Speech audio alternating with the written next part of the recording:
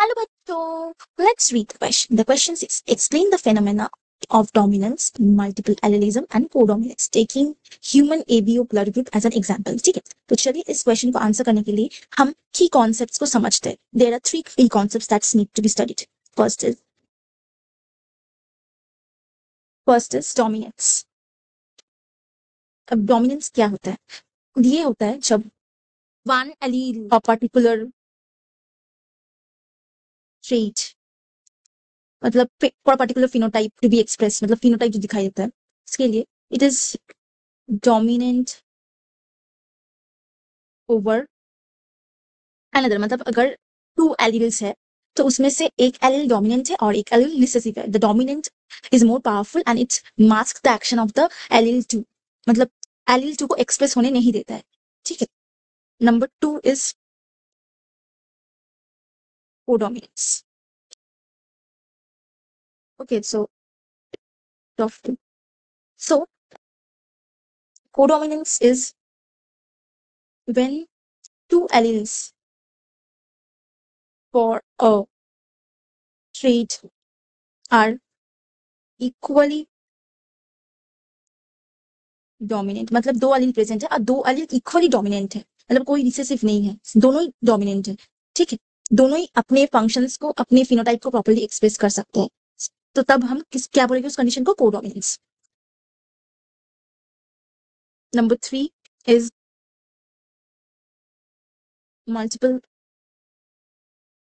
allelism ये क्या है? जब when the gene contains more than two alleles तब उस को हम क्या सकते हैं? दे हैव मल्टीपल एलिज्म मतलब मोर देन टू एलिम्स ठीक है? तो चलिए अब इन तीनों को हम ह्यूमन एबीओ ब्लड ग्रुप से कंपेयर करते हैं कि कैसे ये तीनों उससे रिलेटेड है।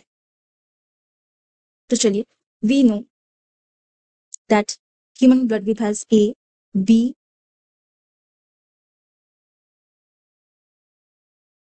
and O blood groups okay तो चलिए एक टैबुलर फार्मूला बना लेते हैं। Blood groups and its genotype blood group phenotypes है तो ये जीनोटाइप मतलब उनका जीन का एलील क्या है, देखते हैं। अगर ब्लड ग्रुप ए हुआ मतलब they have A A we can also say और ए ज़ीरो मतलब कि ए डोमिनेंट है और बी रिसेसिव है उस टाइम